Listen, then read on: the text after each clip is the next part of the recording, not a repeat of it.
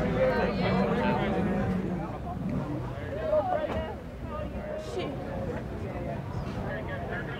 Mary, we're here this morning. It's a charity event as well as everything else.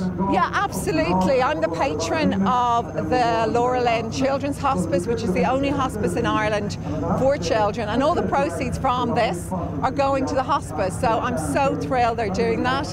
And congratulations to everyone involved. It's a wonderful hospice. And the more we can support it, the better. And it's great to have a bit of fun while you're doing it with the Cannonball Run. Great fun. I've seen a lot of these lovely outfits on the guys. I want to borrow their dresses. I think they could look rather fetching on me. well, I wouldn't say that, but congratulations. It's a great day, I think. Yeah, I think it's a great day. And we're lucky the rain's now stopped and everybody's in great form. So it's a great day and a great cause. So I'm delighted.